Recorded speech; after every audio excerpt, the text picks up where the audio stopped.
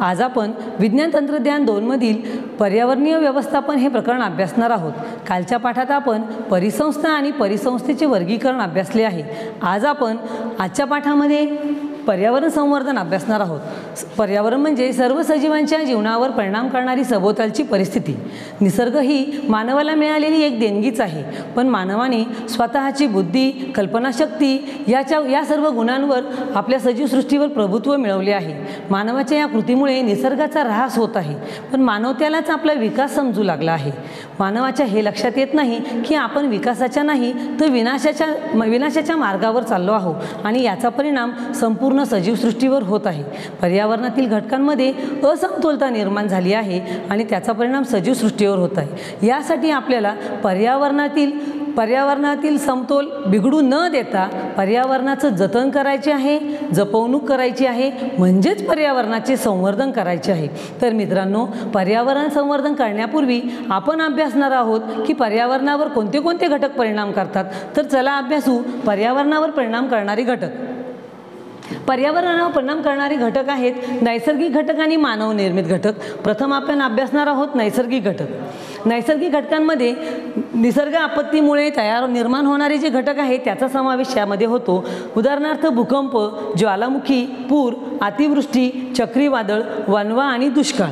त्यानंतर आपण अभ्यासणार आहोत मानवनिर्मित घटक. मानवामुळं मानवाच्या कृतीमुळं जे घटक यामध्ये आहे हो निर्माण होतात ते सर्व घटकांचा समावेश मानवनिर्मित घटकांमध्ये होतो. उदाहरणार्थ जंगलतोड हवा जलप्रदूषण नागरिकीकरण औद्योगिकरण रस्ता पूल धरणे इत्यादी.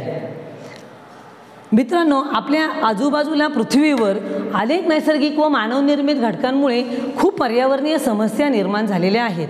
तर या समस्यांमध्ये सर्वात प्रमुख समस्या आहे ती म्हणजे प्रदूषण. तर प्रदूषण म्हणजे काय? ते आपण अभ्यासू. प्रदूषण म्हणजे सर्वसाधारणपणे कोणत्याही वस्तूचे व पदार्थाचे दूषितीकरण म्हणजे प्रदूषण. मग निसर्गामधील जे घटक आहेत त्या घटकांचे दूषितीकरण म्हणजे प्रदूषण.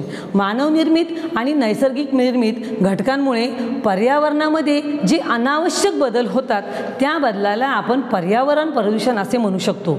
मग पर्यावरण प्रदूषण कशामुळे होते? तर पर्यावरण प्रदूषण हे औद्योगिकरण लोकसंख्यांचा प्रमाणापेक्षा वाढलेली जास्त लोकसंख्या आपण नैसर्गिक साधन संपत्तीचा जो अनावश्यक किंवा अतिवापर करतो त्यामुळे हे सगळे कारणं आहेत पर्यावरण प्रदूषण होण्याचे. त्यानंतर आपण प्रदूषणाचे काही प्रकार अभ्यासू. प्रदूषणाचे जे प्रकार आहेत त्यातले आपण आज अभ्यासणार आहोत. हवा प्रदूषण जलप्रदूषण आणि भूप्रदूषण प्रथम आपण अभ्यासू हवा प्रदूषण. हे हवा प्रदूषण कशामुळे होते? त्याच्यातली घटक बघूया. वायुरूप घटक आहे C O two C O hydrocarbon sulphur nitrogen oxide hydrogen sulphide इत्यादी आणि घनरूप घटकामध्ये आपल्या अवतीभोवती असलेले धुलीकण आणि राख आहे. त्यानंतर कार्बन शिसे ॲस्बेस्टॉस इत्यादी घटक येतात. त्यानंतर अभ्यास आपण अभ्यासणार आहोत हवारूप हवा प्रदूषणामधले स्रोत. हवा प्रदूषणामधले स्रोत आहे. रासायनिक आणि तेल शुद्धीकरण कारखाने तसेच औष्णिक विद्युत केंद्रे कापड गिरण्या कागद कारखाने सिमेंट उद्योग आणि धातू ओतण्याचे कारखाने. त्यानंतर ह्या सगळ्या प्रदूषणाचा आपल्यावर काय परिणाम होतो तो आपण अभ्यासणार आहोत. ह्या हवा प्रदूषणाचा मानवी आरोग्यावर प्रच परिणाम होतो. मानवी आरोग्याच्या श्वसन संस्थेवर गंभीर आजार निर्माण होतात. हवामान बदल होतो. आम्लवर्षा आणि प्राणी आणि वनस्पती यांच्यावर देखील परिणाम होतो. मग जो हवा प्रदूषणाचा परिणाम होतो या सगळ्यांवर आपण काय उपाययोजना करू ते बघूया. हवा प्रदूषण रोखण्यासाठी आपण जे कारखाने आहेत त्यांची दुराडी जी आहे ती उंच करू शकतो. त्यानंतर प्रक्रिया सुधारणा करू शकतो आणि प्रदूषण नियंत्रण करणारी साधने वापरू शकतो.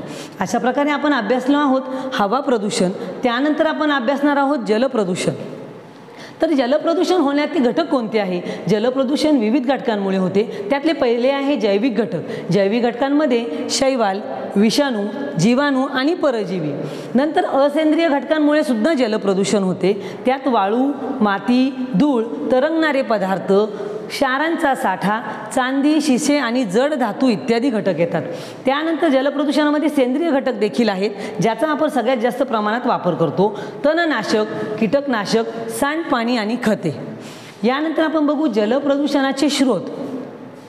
जलप्रदूषण स्रोत म्हणजे जलप्रदूषण कुठून होते? तर औद्योगिक प्रदूषके घरगुती प्रदूषके सांडपाणी आणि कारखान्यातून सोडली जाणारी रसायने आणि कीटकनाशके मग ह्या प्रदूषणाचा आपल्या सजीवसृष्टीवर काय परिणाम होतो? तर मानवाच्या रोगांच्या साथी जलीय जीवनाची मरतूक आणि अतिजैविकीकरण.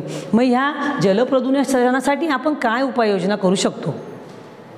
उपाययोजना प्रदूषते नियंत्रित करणारी साधने आणि पाण्यामध्ये जे प्रदूषते आपण सोडतो त्याला पूर्णपणे प्रतिबंध केलं पाहिजे. अशा प्रकारे आपण अभ्यासला आहे जलप्रदूषण यानंतर आपण तिसरा प्रकार पाहणार आहोत भूप्रदूषण. भूप्रदूषणाचे घटक आहे वेग भूप्रदूषणाचे घटक हे वेगवेगळ्या ठिकाणी भिन्न आहेत. उदाहरणार्थ शेती कीटकनाशकातील असेंद्रिय घटक आणि रासायनिक खतांची जी मात्रा आपण जास्त प्रमाणात वापरतो ती जड धातू आणि इतर विषारी रसायने जलप्रदूषणासाठी असणारे स्रोत अभ्यासू. स्रोतमध्ये आहे कारखान्यातील उत्सर्जके घरगुती टाकाऊ पदार्थ रासायनिक खते जैव वैद्यकीय टाकाऊ कचरा आणि सर्वात जास्त प्रमाणात आहे तो प्लॅस्टिक कचरा ज्यामुळे भूप्रदूषण जास्त प्रमाणात होते. यावर होणा या भूप्रदूषणामुळे होणारे परिणाम अभ्यासू.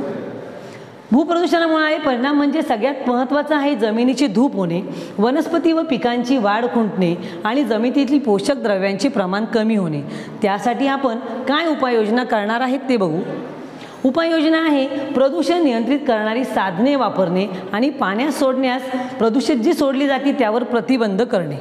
अशा प्रकारे आज आपण पर्यावरणावर परिणाम करणारे घटक आणि प्रदूषणाचे प्रकार अभ्यासले आहे